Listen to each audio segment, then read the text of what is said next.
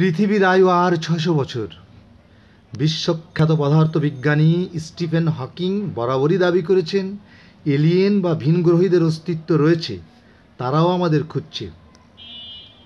আর মার্কিন জাতীয় মহাকাশ গবেষণা সংস্থা নাসার সাম্প্রতিক তথ্যে দেখা গেছে, পৃথিবীর মতো আরও গ্রহ রয়েছে, সেখানে প্রাণের অস্তিত্ব থাকতেও পারে।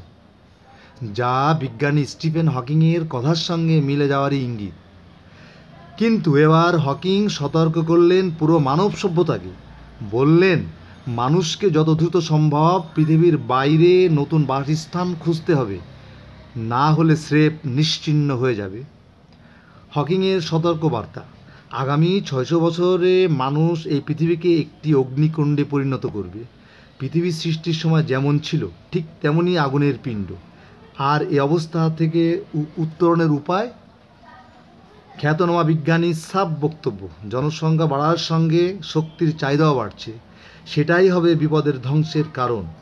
বাঁচতে হলে মানুষকে ভিন গ্রহ খুঁজতে হবে, নইলে বিলুপ্তি হবেই।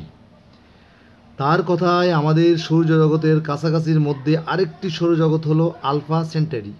পালানোর জন্য ওটাই ভালো।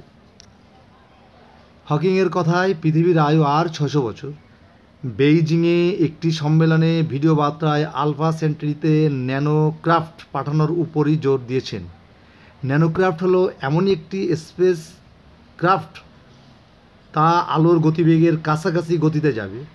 আলফা জগতে পৌঁছাতে সময় লাগবে বিশ থেকে তিরিশ বছর।